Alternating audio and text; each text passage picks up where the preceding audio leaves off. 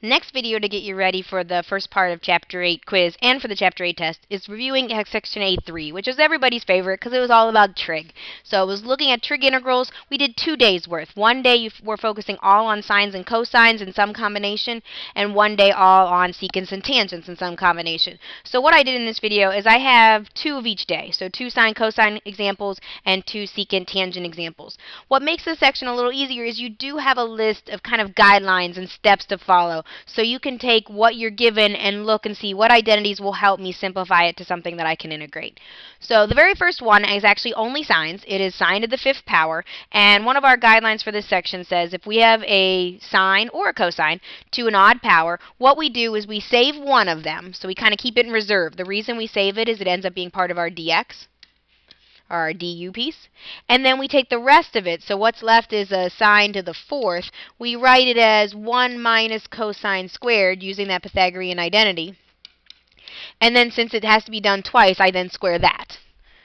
So you have the 1 minus cosine squared 2x there twice, writing it as squared. One thing to keep in mind, make sure your angle doesn't change as we go through this. It should still be 2x. First step I need to do is the algebra. I need to square out this binomial. So when I square it out, I'm going to square double square. I get 1 minus 2 cosine squared 2x plus cosine to the fourth 2x. My next step is to distribute. So I get the sine of 2x is a term all by itself. And then minus 2 cosine squared 2x sine 2x. And then plus cosine to the fourth 2x sine 2x. So I use whatever identity is appropriate, in this case the 1 minus cosine squared. I do the algebra to square it out, expand it, whatever needs to be done, distribute. And now I'm left with three pieces that I'm going to integrate. The first piece is my easiest, but sometimes people kind of overlook it. The integral of sine is negative cosine. We will have a 1 half adjustment, so we get negative 1 half cosine 2x. The second and the third one are actually going to have the same u sub, so I'm just going to write it kind of in the middle of them. Both of them, the u is going to be the cosine 2x. Because remember, the reason that you saved a sine 2x is that's going to be part of your du. So the derivative of that is going to be 2 negative, excuse me, negative 2 sine 2x. So we will have a negative 1 half adjustment for each of these. So I like to write down what's happening here. I have a negative 2. I also have a negative a half adjustment and then I have a u squared du. And over here, I have a negative 1 half adjustment, and I have a u to the fourth du. In the first one, my negatives will cancel, and so will my 2's. I am integrating u squared, which gives me u to the third over 3, so I end up with cosine to the third of 2x over 3. And then in my last piece, I have, I end up with negative 1 half times u to the fifth over 5. So I end up with negative 1 tenth cosine to the fifth of 2x plus c. So my answer kind of snakes around a little bit are these three terms. First term, very short u substitution, just letting the u be the angle. You end up with that 1 half adjustment and it is negative. The second and the third one, both of them have the same u sub, so sometimes it's nice to kind of write it just once and see what adjustment has to be made. You can see the adjustment that was made for each one. And then make sure when you look at your final answer, make sure it still has, in this case, the cosine of 2x, and it doesn't have like an x or something like that, that the angle doesn't change.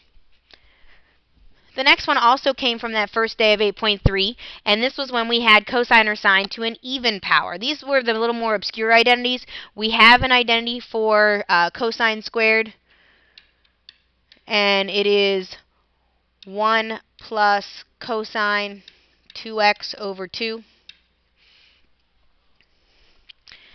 So the first thing I'm going to do is I'm going to completely change the way this is written and write it as a 1 plus cosine 2x over 2 so that is going to be 1 plus cosine of 8x because what this 2 is saying is double the original angle. The original angle is 4x, so that's why it's 8x. It's one of the few times the angle actually changes because the identity has it change. Over 2.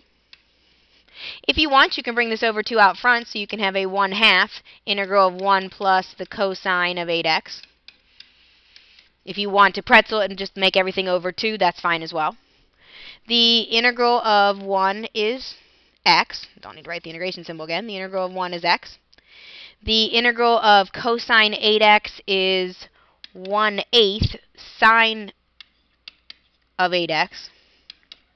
So you can write as sine of 8x over 8 or 1 eighth sine of 8x plus c. Now keep in mind this whole thing, these two terms are multiplied by a half, so you can leave it like that, or you can write it as x over 2 plus sine of 8x over 16 plus C. I don't care which way you write it, as long as somewhere you realize the one half's there. If it's a multiple choice question, look at your options and see what they did, if they left the one half out front or they distributed it back through. So that gives you an idea of what we do, and this, this only happens when you have a standalone cosine or sine to an even power. Um, if there's a mix of sines and cosines, you would use the Pythagorean identities. It's only whenever you just have sine or cosine to an even power that you have to use the more obscure double angle identities. The next two we're going to do looks at the combination of secants and tangents. Now for that we actually had a longer list, went through and said if secant is positive do this, if tangent is positive do this, if all else fails goes to sines and cosines. What we have here is an example where we have an odd number of tangents.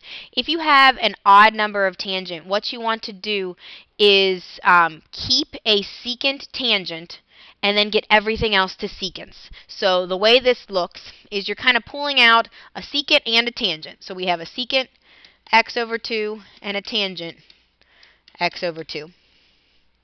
And then what we have left is we have a secant squared left and we have a tangent squared left, but we're going to convert that tangent squared to secants. We're using the identity, so we're going to take our tangent squared, here's the identity, tangent squared is equal to secant squared minus 1. So we're going to take that tangent squared and write it as secant squared of x over 2 minus 1.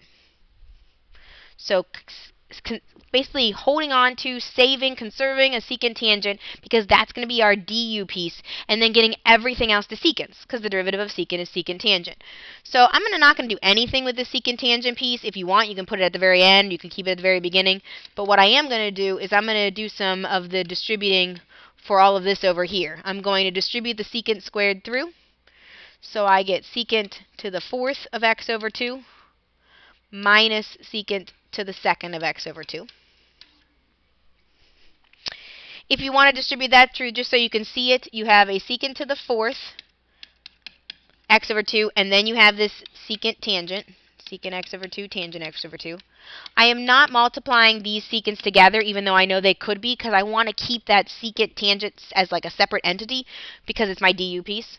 And then I have the minus secant squared x over 2 with a secant tangent. And again, I'm keeping that as a separate piece, because that's my du piece. Both of these are going to have the same u sub, so I'm just going to write it once. My u is the secant of x over 2. That's the piece that is having something done to it in both terms.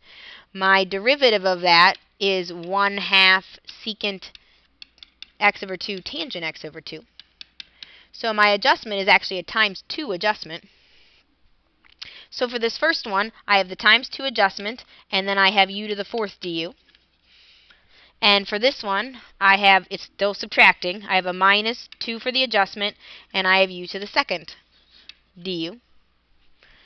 So the first one ends up being 2u to the fifth over 5, which is 2 times secant to the fifth of x over 2 over 5, minus, this one ends up being 2u to the third over 3. It is still subtracted. So minus 2 secant to the third of x over 2 over 3 plus c. So this was the technique. If we had an odd number of tangent factors, we keep a secant and a tangent together. That becomes that du piece that gets conserved the whole time. And then everything else goes to secants so that in the end we can let u be secant and du be the secant tangent that I saved. So here, kind of circle it is my answer.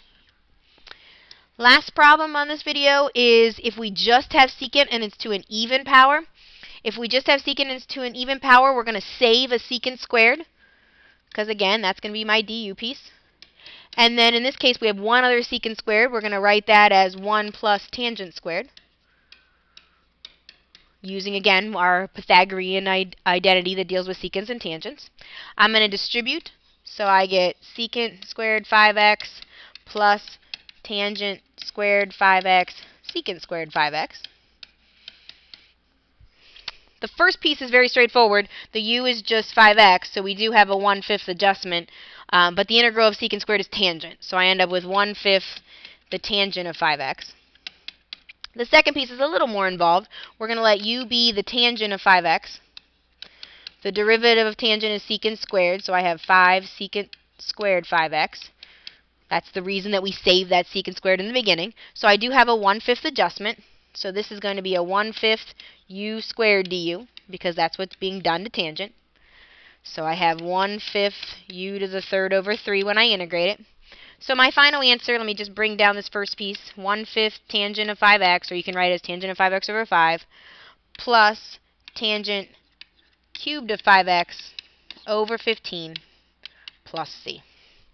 And what you'll see as you do these, the biggest things to watch are your adjustments, the DU adjustment, mainly the like fractional adjustment, your signs, watching your pluses and minuses, and then making sure you do your algebra right. Whenever you are transferring everything to a particular trig function, make sure you're distributing right, make sure you're squaring things right, and then other than that, you're following the guidelines. So this shows you four examples, all of the trig, two from day one, sine and cosine, two from day two, which was secant and tangent.